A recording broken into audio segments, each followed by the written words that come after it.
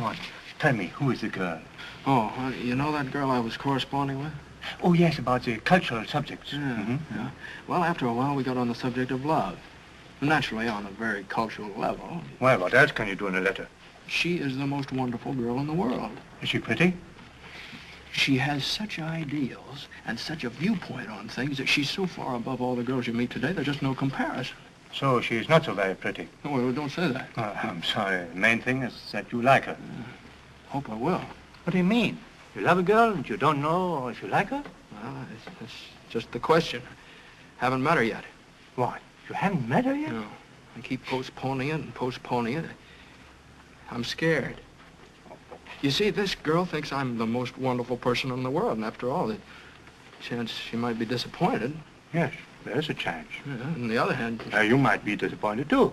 I don't dare think about it. Pirovitch, did you ever get a bonus?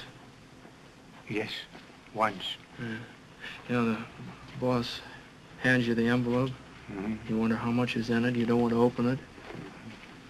As long as the envelope's closed, you're a millionaire. Oh, You keep you keep postponing that moment, and well, you can't postpone it forever. I'm meeting her tonight, 8:30 in a cafe. all right, Carnation. Yeah. Yeah. She's using one for a bookmark and a copy of Tolstoy's Anna Karenina. I'm wearing one on my lapel. Haven't slept for days. I'm sure she'll be beautiful. Well, not too beautiful. No. What chance is a fellow like me? Uh, What do you want, a homely girl? No. No. No, you, you knock on wood for me. Just a lovely, average girl. That's, all I want.